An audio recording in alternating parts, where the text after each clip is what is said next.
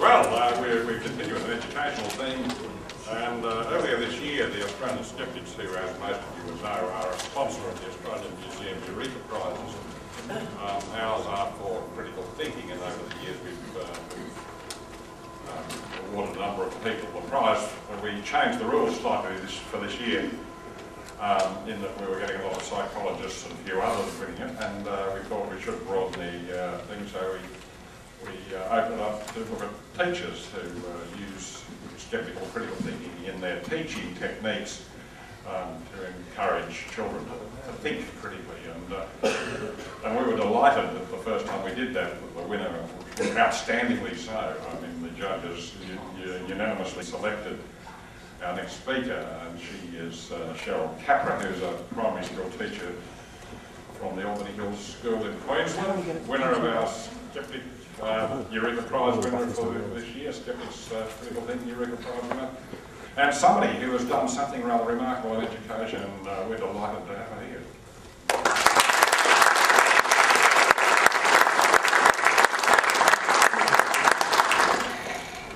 It was down to my height. Can everyone hear me? Um, yeah. Good. Yeah. Now, um, what I'd like to talk about, two particular aspects of um, what Barry was mentioning. And uh, I wouldn't say that it's all that remarkable because uh, there are a good many teachers working not just in Queensland but throughout Australia to do similar sorts of things in their school. And fortunately, there are uh, developing uh, quite a group of them, which uh, is going to make a difference to science education, hopefully. We get that you know, to use a um, mention of, I don't know if I should mention nuclear, but, you know, critical mass of people working towards something. Uh, when I arrived at Albany Hills in 1997, I'd worked in various aspects of education for about 38 years. I'd worked in education central office on a number of different projects for seven years, and prior to that I'd worked in secondary and primary. But my education began in the primary sector. So I thought I'd like to just go back to primary for a few years until I retire in 2000. And uh, I'm still teaching, and I'm still at Albany Hills, and I guess I'm not the retiring type. But um, that's someone recognised the pun, thank you. That's why I, I on that uh, astrology test I gave myself about negative five for uh, the one about good sense of humour fitting. I, I, enjoy other people's jokes, I just can't make them myself. now, um, after I arrived at Albany Hills, I settled into a class there and I wasn't doing any special role in the school. But I had a strong interest in mathematics and science, which uh, I taught in secondary school, having taught physics, mathematics and German. The uh, thing that I was interested in was what was the state of science in the school, because I knew there was a new syllabus on the horizon. I'd taken some small part in it. And I also knew that Education Queensland was working on materials that uh, they were going to use to help promote the syllabus in the schools and uh, they're also uh, source materials for teachers. I, uh, anyway, settled into my class and then the first religious education lesson in my classroom was an absolute revelation. I'd been away from schools too long, I decided, because things had changed. When I was first in schools, in primary schools in particular, there had been uh, the situation where the uniting, or in those days, Pres uh, Methodist Presbyterian ministers would come in, Anglican ministers would come in and take children, they'd all go to their different minister. Now we had an ecumenical group in the school, which was taken by one lay person, usually, who came into the school to take them at each different year level. Benefit for the school was that it was less delay to other work for this mandatory half hour of religion, and uh, the children stayed together in the one classroom. But what I found was that uh, it was so different to what I remembered. Now they were being taught nothing but stories about Daniel in the lion's den, uh, creation as it's told in Genesis, one or the other. And the thing was that this happened week after week. And I asked some teachers on the staff about it. Is this sort of thing uh, usual for RE? Oh yes, it's really good. We get all our work marked while it's going on. We, they tell them stories, they get a chance to sing to the guitar and, and stand up and praise the Lord and so on. I said, would you mind listening carefully to what's going on? Because I think it's part of our duty of care to these kids. And they thought, oh, he's a nutter come to the school. But anyway, we'll listen. And uh, they said that they'd monitor it for a couple of weeks and get back to me. Well, we're going to have at that time staff of about 43. And uh, those 43 teachers, almost all, reported back to me that everything was fine. They're telling the kids these wonderful stories. They mentioned the stories they were telling me, and it was the same. Year after year after year, kids were getting seven years of it. And just a couple said they were concerned that uh, when they did listen to it, just what the kids were being told. So, what we uh, decided to do, I and a few other people that I discussed it with, was continue monitoring what was happening and then look at the possibility of doing something about it. Now, I'm not going to read the overheads to you, so please don't wait for me to do so. Um, I said to them, and uh, by this time I had probably about five or six people out of 43 who thought I wasn't crazy. I said, let's, let's just see if there's anything that is even more sinister than just telling them Bible stories. And that didn't take long to happen because about four weeks into my uh, appointment there, the layperson who came in to take religion in grade seven, right across the five grade sevens, started telling them about scientists and science being an instrument of not God, but the devil. And he also said that now scientists think we're descended from monkeys. And in the process, he jumped around doing all the actions all around the front of the class. And he said, which would you prefer? Would you prefer to be made in the image of a wonderful, loving God? Or would you prefer to be a monkey? And he starts running around the classroom again. I couldn't believe what I was seeing. Yet it even got worse, because later on in the lesson, he said to them that all the bad things that happen to you in this life, all the diseases and, and problems that you get, they're a punishment from God. They're either a punishment from God for the things you've done wrong, or you've got the devil in you. Now, at the time, we had a child in grade seven, not in my class, who had muscular dystrophy. He was in a wheelchair, had a a rod in his spine and knew that his life expectancy was pretty limited. So all of the teachers in that year level were absolutely horrified. What we did was prepared a memo. They all signed it, and it started off, it's a memo to the principal from all year seven teachers. As a matter of conscience and as a consequence of our professional duty of care to students, we feel it is imperative that we notify you of our concerns outlined below regarding the religious education course currently being implemented in our classrooms. Now, you might wonder what all of this has got to do with my implementing a total reform of science in the school. But I wanted to give you some of the background of what was going on in the school. And by the way, we did eventually get rid of this person from our school, but it took three months. And it also took uh, conferences with the RE coordinator, Uh, we had to get the religious education advisor out from central office, who happened to be Meg Noack, uh, Joh Bjelke-Petersen's daughter, uh, when she came to talk to us. But eventually, we did get rid of him because I enlisted the aid of the local Anglican minister, who was on the minister's fraternal. And the minister's fraternal oversees all of the uh, RE in our particular district. And they're not stacked with fundamentalists, but religious education in our school was, because the mainstream wasn't coming anymore.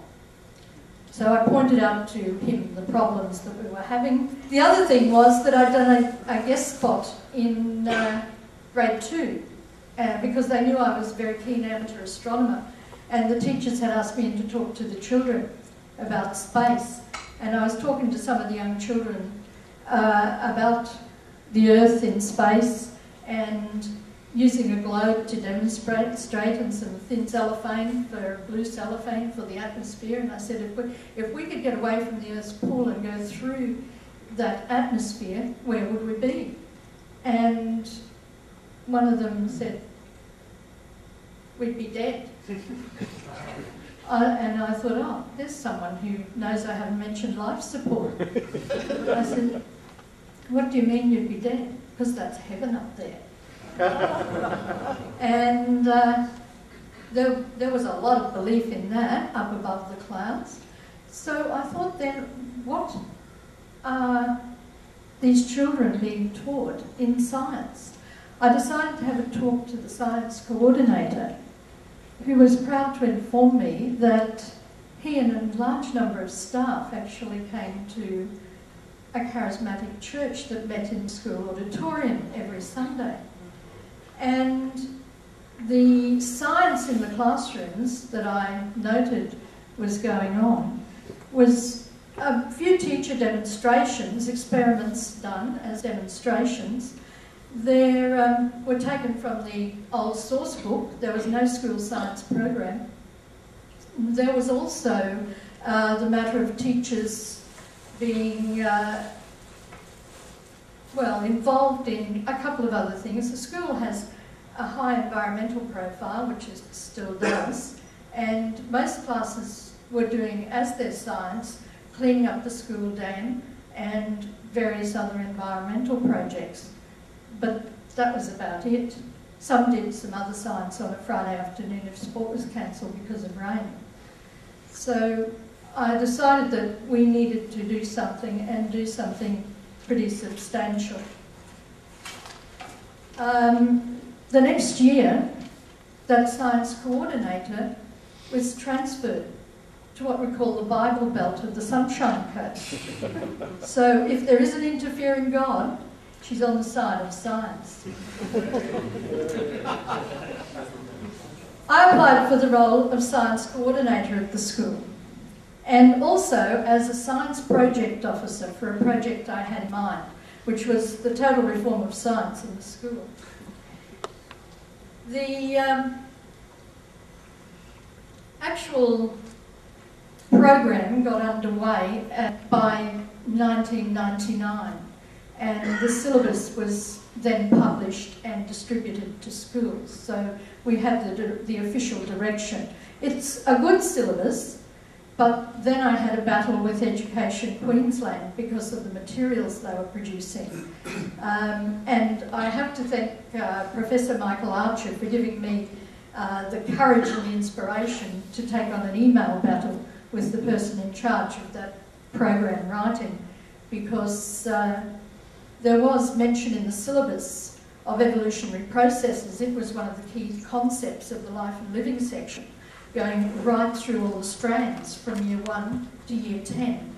And the materials he was producing had also incorporated looking at other ideas. So the battle went on. Um, he was promoted. At least he wasn't having any uh, input into the materials. His promotion was out of that area. And my the quip from Mike when I told him what had happened was, um, should have been promoted to tea lady. I thought that was a gem. I hope you apologise to all the tea ladies though. so, we began on this project in September 1999. I produced a survey which um, gone too far. No. That's it. Okay. I produced a survey for uh, staff, and almost all of the 43 teachers on staff filled out this survey, which looked at uh, a number of different aspects. I just read them out to you to make sure I don't forget any of them. Teachers were asked to rate against criteria their scientific literacy, confidence in teaching science from preschool to year seven, their familiarity with pedagogical issues that impinge on science learning, such as how much they use technology, such as microscopes, telescopes, um, electronic equipment, like I'm using now. Um, knowledge of strategies to promote students' critical thinking abilities, and how they assess themselves with regard to the learning of students in their classroom. Were they having an effect on the students' science learning? Some of the data there, if you've been looking at it, gave an indication that we had a fairly traditional kind of school. Um, but the teachers were interested in science, very large proportion of them. A bit worrying that 68.5% felt that they had very little or no understanding of modern science. And other people have done other surveys throughout the state and now throughout Australia, and that percentage is pretty well borne out. This is primary teachers we're talking about. A lot of them have studied no science all the way through their schooling. So there was something that had to be done about professional development. And so whatever we did, we had to incorporate development of teachers not just in teaching science effectively and in accordance with the syllabus and a school program which was yet to be written at this stage, but also to be able to do it in a way that they had an overall picture of where they were going, what, what sort of uh, key concepts did they want the students to be able to articulate at the end of it.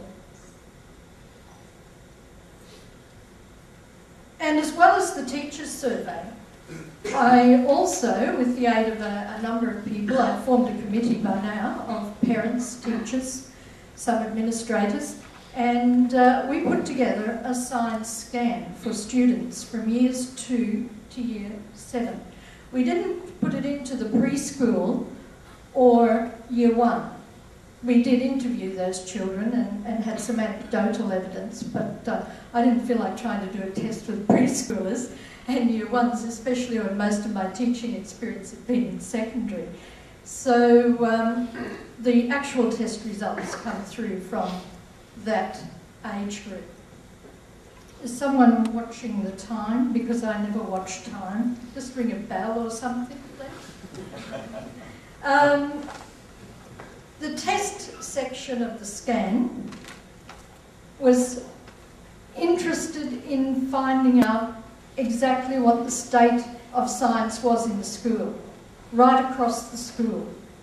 Everyone was tested on the one day, all students in the same year level did the same test, and it was administered in the same manner in which the national competitions are administered in the school, which is absolutely strict test conditions, no input from teachers.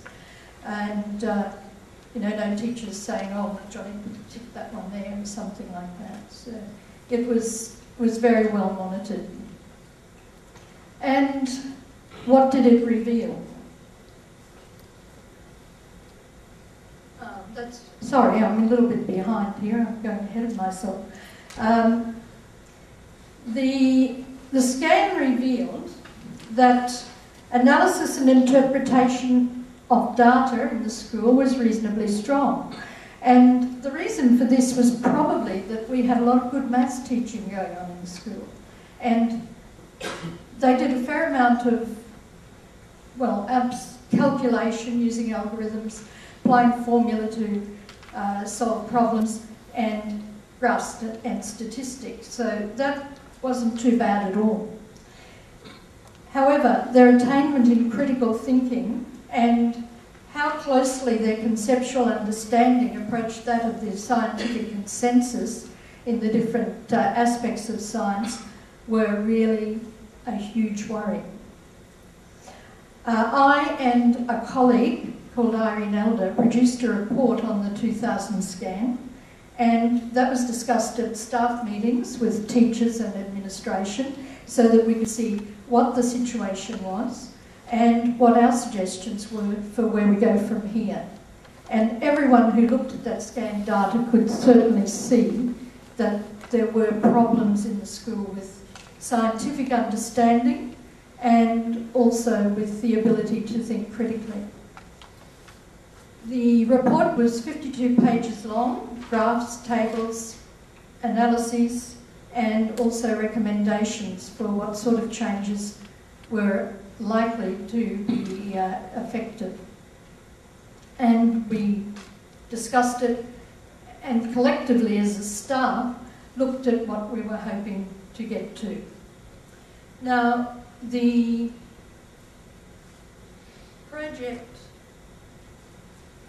had uh, a number of particular um, objectives, I guess, which I've had on the overhead for uh, a little while. I hope you read the first one when I moved it on to the second. Um, and these were aimed at allowing us to achieve what was our overarching goal. And that goal was that we wanted students who could think critically, who would be able to apply that critical thinking not just to solving scientific problems, but use it in their everyday lives. We wanted them to be able to ask questions and to be able to analyse data and look for fallacies and look for misconceptions and be able to recognise them. So what we were hoping to do was change, I guess, the whole mindset of what was going on in the school and in children's minds, at least um, a large proportion of them. And in order to do that, the children had to learn science by actually doing science. They had to work scientifically, learn how to develop hypotheses. First of all, how to ask the questions, how to develop hypotheses, how to go about setting up a fair test. They had to understand what a fair test was, and then how to record data, how to observe, and then how to analyse the results and determine if there were any variables, for instance, that uh, should have been controlled that weren't, criticise their own work, that of others, politely of course, although they're not always. But um, it was a matter of getting them to actually act like scientists. And that's the kind of program that we wrote. No? Got the wrong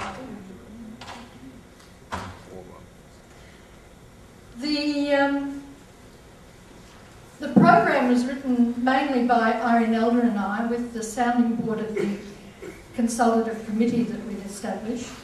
And Irene was a, a great one to have on board. I'd actually targeted her because not only was she intelligent, had some scientific background, she had early childhood training, and uh, there was no way I could write a program for children in that early part of the school without a lot of assistance. And another thing, she had a good sense of humour and she was a liberal Catholic. So Irene had everything that I needed to assist me with this job. And uh, it was as well because I think a lot of the staff regarded me as a bit of an interloper. I only just arrived and that uh, I was also a little bit pushy. I've heard that mentioned a few times. and uh, the other aspect was they sort of thought I was a bit irreligious. No, don't know how they think that. but it was great because a lot of people who had hesitancy about me were happy to uh, come on board when Irene started promoting it as well. And uh, what we did in 2000, early 2000, was we started writing the new school program based on the syllabus. And that new school program is ready for its implementation in January 2001. Before the end of 2000, we had uh, actually laid the foundation for it with a, a, whole battery of staff professional development in pedagogy and in general science. And we kicked off the, uh, the staff training with uh, astronomy, astrophysics, and cosmology. Uh, because that's one of my obsessions apart from science generally and I don't spend all my money on telescopes for nothing. and uh, the, the thing was that a lot of people came to that session, oh, this is going to be a bore, you know. And so many were just absolutely rapt. And quite a few said later, I had absolutely no idea of any of that. And from there, we got funding for uh, telescopes for the school, and we now have a thriving astronomy club and are using the Las Campanas telescope in Chile remotely over the internet. So we've come a long way. And teachers are all involved with that. But just getting back to our program, um, based on the syllabus, with one slight difference, there's a critical thinking component which is based on the scientific method. And you might wonder why I called this um, at the beginning, that first slide, which uh, used science as a candle in the dark as the title. Um, I know Carl Sagan wasn't the originator of that, but I think of him when I hear it because I read his book, Demon Haunted World Science as a Candle in the Dark. And in that book, he incorporated a baloney detection kit. We rewrote that for students to use. Students from grade 4 to 7 use the baloney detection kit as part of their critical thinking development. They do some fair testing, a bit like what you've seen here today. And uh, we've even had them draw up contracts to test such things as levitation using psychic powers. And would you believe with one of those uh, little episodes, across grade seven. Belief in levitation, and levitation, which they'd seen on some show on TV, some, uh, I can't even remember the name of it now, this is a couple of years ago, but I think it was one of those that promote witchcraft, and they'd seen this girl levitated in it, so we had a fairly large proportion of our grade sevens at that stage who were uh, convinced well, when I say fairly large proportion, it was running close to 50%, and I found that a bit horrifying. But the, uh, the fair test was uh, drawn up by the children and signed by the two groups, the believers and the non-believers. And uh, the non-believers said, look, we better get the gym mats out because if they do, if, you know, someone is up high, and we tell them to let go, we know what's going to happen. Gravity will pull them down. But uh, anyway, they had this contract, signed it, we did it under test conditions, and uh, of course, from I think about 49% believing they were going to do it, dropped to less than 2%. So not just the, the, uh, the body dropped, but so, so did the belief. And the power of doing tests like was done here today and that sort of thing is quite phenomenal. Students are willing to listen, look at evidence, but you need to um, teach them how to look at evidence, and that's where Carl Sagan's baloney detection kit comes in. Our reworked version he may not recognise, but we have credited him with it because it is derived from his. And uh, students are introduced to scenarios, and they could be implemented by me as their teacher or another teacher, a parent or a student. And the scenario is role playing. You say, another person's question, so they'll do a follow up on other people's questions. They're looking for um, whether the person answering the question is drawing on some other outside circumstances instead of giving them data. And so every child is rated according to the quality of their question, the depth, the searching nature of their question, but also the follow-up questions. And being able to identify what it was, and we have a baloney detection chart up in the room, being able to identify what it was that they actually were trying to discover and whether they did discover it or not. And uh, they just loved it. But every day I'm asked, can we do another baloney detection scenario? Children, as you can see, enjoy preparing them. And in order to prepare for a baloney detection scenario, they've got to have some background knowledge so they know what it's going to be about. They don't know all the details, but they know something about it. And so they do the research.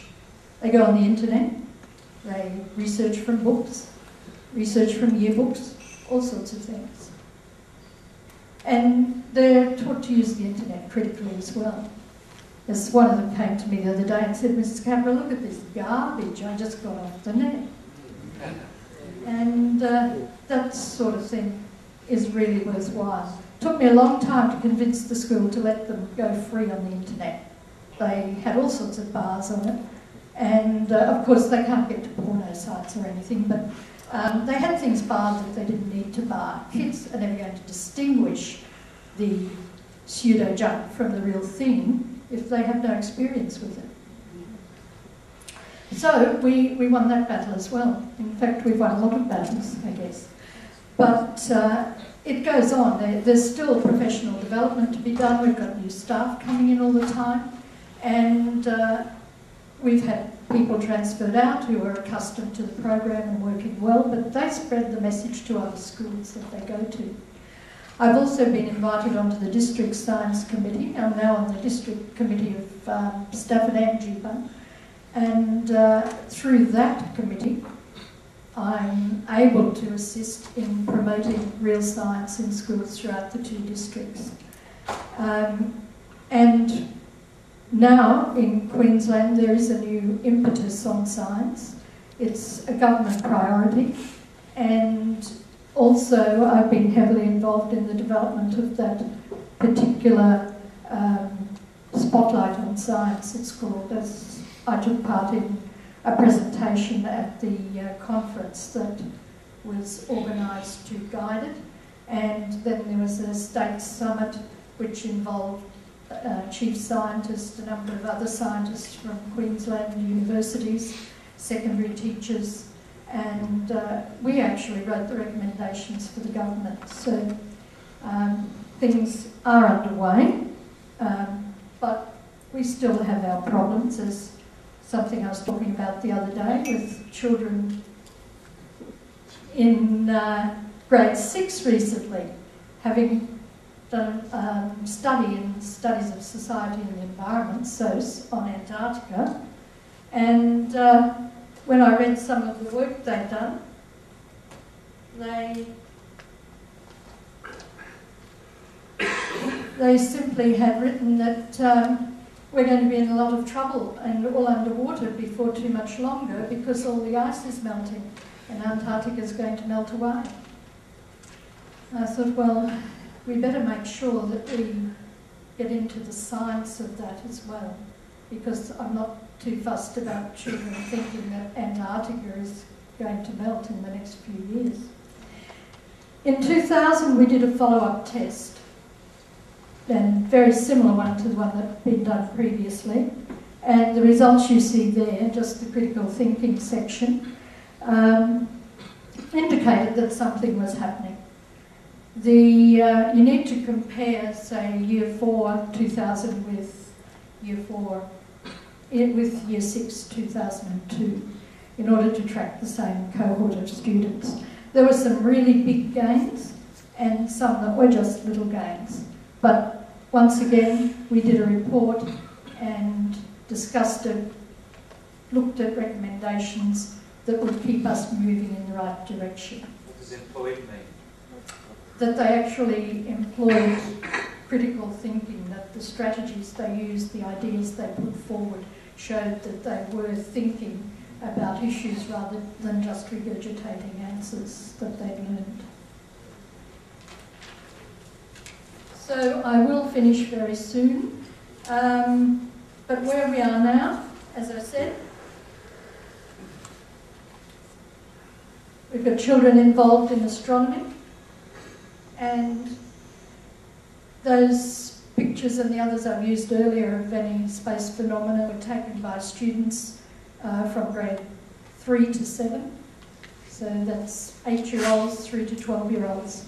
We're into astrophotography and uh, the kids are so keen on science that in the uh, state science competitions the last three years we've won more prizes from our entries than any other school in the state and that's primary, secondary and P to 12 colleges. So pretty proud of that effort. Um, and in RE, getting back to religious education, um, children now ask questions in RE.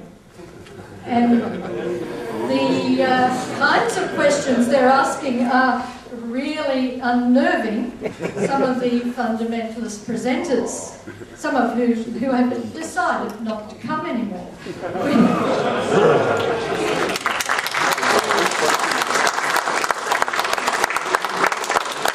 now, we've told them always to be polite, which they are, polite but persistent. Have you converted the RE instructors? Some of them I have, yes. And some are now doing a course that is quite acceptable, and the Anglican minister has assisted with that in giving them a few clues as to how to go about it. So, at least now in year seven, children aren't asking me, how do Adam and Eve fit into the geologic time scale we just talked about? And even our preschoolers in their own way, know something about the vast and beautiful cosmos beyond Earth's tiny little envelope.